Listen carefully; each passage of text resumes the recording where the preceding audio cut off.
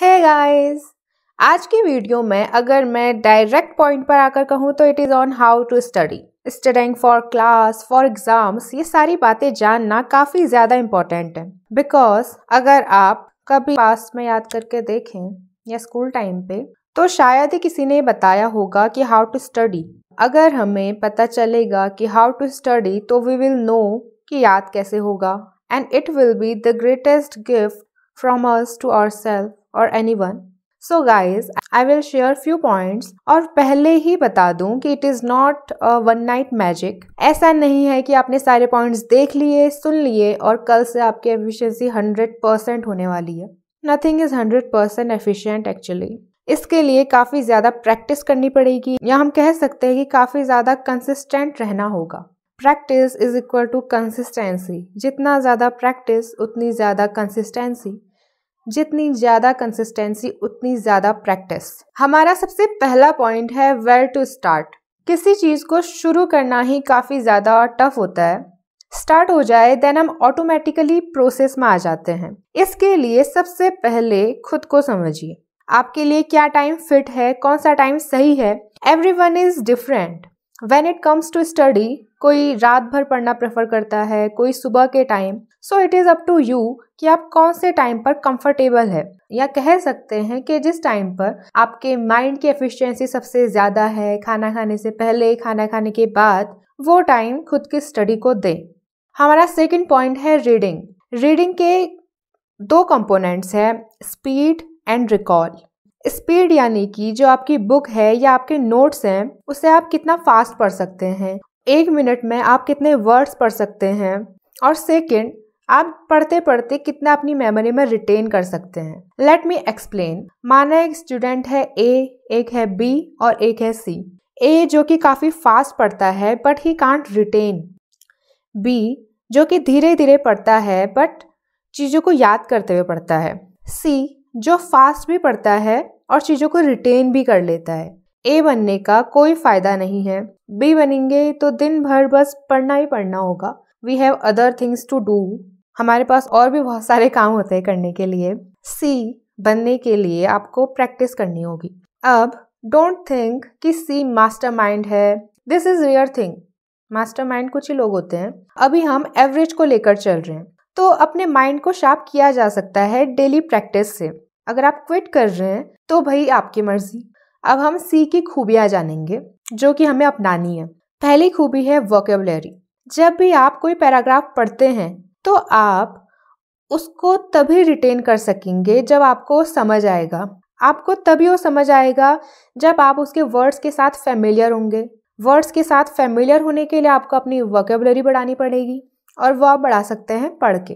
Second property है pre read pre read means कोई भी चैप्टर जब आप पढ़ना शुरू करते हैं तो उसका टाइटल हेडिंग समरी को पहले ही पढ़ लें। इससे ये होगा कि चैप्टर में क्या है ये भी आपको पता चल जाएगा और कोई अनफेमिलियर वर्ड्स आपको मिलेगा तो आप पहले ही उसकी मीनिंग ढूंढ लेंगे। उसकी थर्ड प्रॉपर्टी है कि वो फास्ट पढ़ता है। फास्ट पढ़ने के लिए वोकेबलरी अच्छी होनी चाहिए, जो कि डेली रीडिंग प्रैक्टिस से आप कर सकते हैं। सेकेंड खुद को टाइम लिमिट दें। यानी टाइमर सेट करके खुद को गोल दीजिए कि 15 मिनट में I will read 30 pages try करें कि जब कभी भी आप पढ़ रहे हो तो आपके सामने वॉल हो, क्योंकि मूवमेंट करती हुई चीज़ें आपको डिस्ट्रैक्ट करेंगी। डिस्ट्रैक्ट मीन्स आपकी आँखें उस चीज़ को देखेंगी और आँखें पैराग्राफ या नोट्स की जगह किसी और चीज़ को देखेंगी तो ऑटोमेटिकली आपकी रीडिंग स्पीड इफ़ेक्ट होगी। नाउ अगर आपकी वोकेबुलरी अच्छी है तो मीन्स आपको टॉपिक समझ आ गया। और अगर आप फास्ट पढ़ रहे हैं तो ऑब्वियसली आप कम टाइम पे ज़्यादा रिटेन कर सकते हो। हमारा नेक्स्ट पॉइंट है नोट मेकिंग नोट मेकिंग के भी काफ़ी सारे तरीके हैं। एक तो कि अपने फ्रेंड से नोट्स मांगना और बिना सोचे समझे उसे लिख देना, या उसका प्रिंट आउट निकाल लेना। But this is of no use in long term मज़ाक से हटकर अगर देखें तो they are many methods for note making like Cornell method charting method outline method but the only method जो मैं आपको बताऊँगी वो है कॉर्नल मेथड वो इसलिए क्योंकि इसका कोई डिसएडवांटेज नहीं है. दिस इज़ बिकॉज़ अगर हमारा कभी क्लास में ध्यान नहीं भी है तो भी इट विल हेल्प अस इसमें क्या करना है? आपको अपने पेज के फोर सेक्शन करना है. ठीक है?